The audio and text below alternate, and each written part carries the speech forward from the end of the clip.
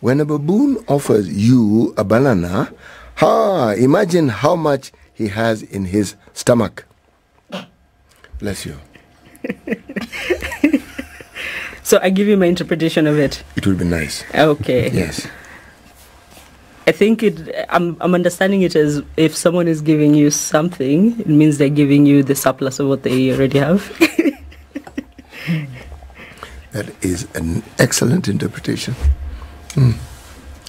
But is that always the case that when someone gives you something, it's a surplus? no, I think it depends on the person, right? When, when the person is not a baboon, it's likely that it's not a surplus. Yes, that, that, the that's person is a baboon. you see? That's human Standard. beings interpreting baboon. Yes. One must ask questions.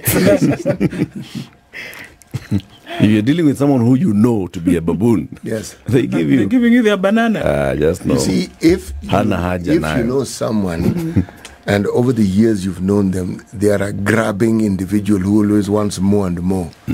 When they give you, you have to ask, no, Kwani, are you, first of all, you ask, are you okay? Yeah. Yes. Is everything all right? and that's where your interpretation what's, comes in. what's the catch? What's the, yeah, what's the Yeah, catch what's the here? catch? Wh- Why are you giving? yeah. But When- yeah, sorry, go ahead. No, I just wanted to say it's a very African way of thinking, though. Um, Mm. I think people are a bit more skeptical when you're giving them something. They're like, "What are you getting out of this?" Yeah. And Yes. people don't believe that things can be done out to the good of people's hearts. It's a bit of a balance. What am I losing here? Yeah, exactly. if I accept this banana, what am I going to lose? Yeah. What do I need to give you? Or am I being given my banana? Yes.